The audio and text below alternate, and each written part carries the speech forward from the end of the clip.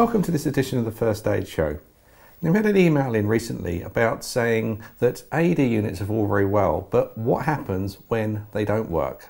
So what we're going to look at on this episode is the sorts of problems that can happen with AED units and what you do if they don't work. Now, generally speaking, all AED units are very, very reliable. There's not a lot can go wrong with them. They're sealed units. They're kept and stored in a dry, a damp, a damp-free place away from dust. They shouldn't be being dropped. So there's not really a lot of reason for them to be damaged, but it may well be that you go to use an AED unit and something goes wrong. It may well be when you start and you turn it on, just no power. Uh, the unit is not functioning, uh, maybe the battery warning alarms are there, but the unit has no power at all. Now, if the unit just doesn't work, all you can really do is carry on CPR in the hope that you can carry on until the emergency services get there. So if there's any major fails with the units, then just keep going, keep going with the CPR until the emergency services arrive. If you've got a low battery indicator, again, don't worry too much. It may well be there's still enough power to uh, deliver the shocks.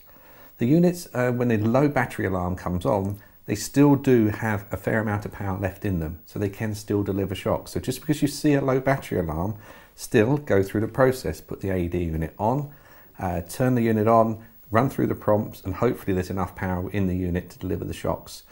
Um, if you do start and it packs up halfway through, then again carry on CPR if needed. Now the units also have other warnings. One may well be uh, motion detected.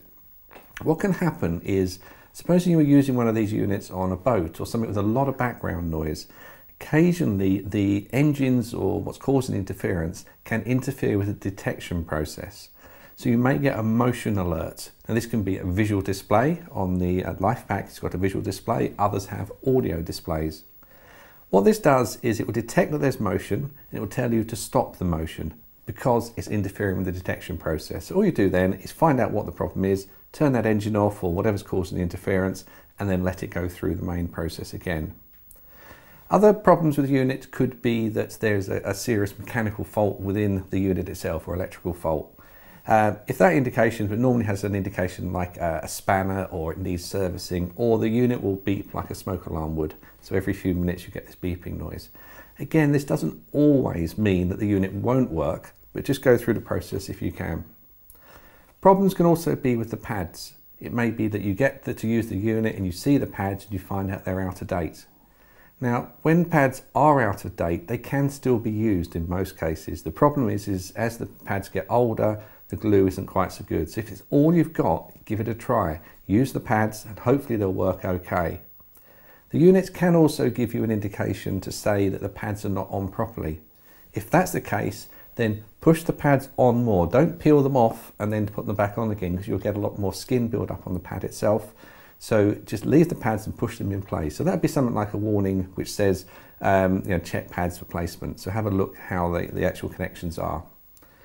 Now, otherwise, just look around. If you do have any errors or problems with the units, start with the basics. Make sure it's turned on, make sure the plugs are in place, make sure you're following the voice prompts correctly and also have a look, particularly if you're not familiar with the unit, to see if there are any warning signs on there.